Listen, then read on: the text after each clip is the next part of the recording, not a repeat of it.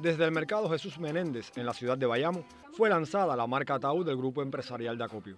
Presidieron la actividad Yudelquis Ortiz Barceló, primera secretaria del partido en Granma, Yanexi Terry Gutiérrez, gobernadora, y Waldemar Jaime García, vicepresidente primero del Grupo Empresarial en el país. Nuestros aborígenes realizaban con bejucos estos hondos a los que nombraron Tau. Es por ello que Acopio asume esa identidad para sus productos, sinónimo de lo natural y alimentación saludable. Granma es la segunda provincia del país donde se realiza el lanzamiento de la marca comercial, antecedida solamente por Santiago de Cuba, y se hará extensiva a las tres empresas del país. Esperamos tenga la misma aceptación, expresó el vicepresidente primero del grupo empresarial. Nosotros llevamos años trabajando en la incorporación a una etapa superior de trabajo y esto nunca lo habíamos podido lograr.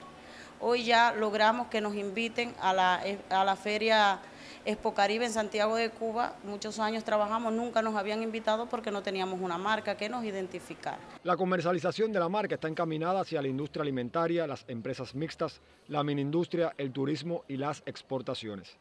El mercado Jesús Menéndez exhibe logros que lo hacen acreedor de tener entre sus ofertas los productos Tau en un comercio mayorista y minorista.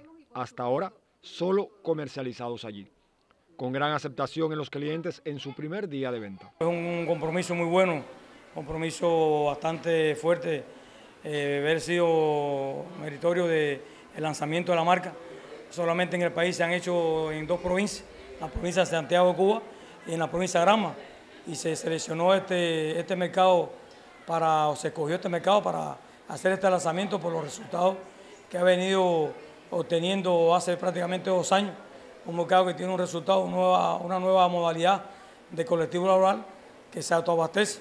Es un mercado que tiene una independencia financiera eh, total, el promedio de salario de los trabajadores asciende los 15 mil pesos y tiene un resultado muy bueno en cuanto al aseguramiento por su estabilidad, un mercado que siempre está abastecido, un mercado que hemos ido renovándolo.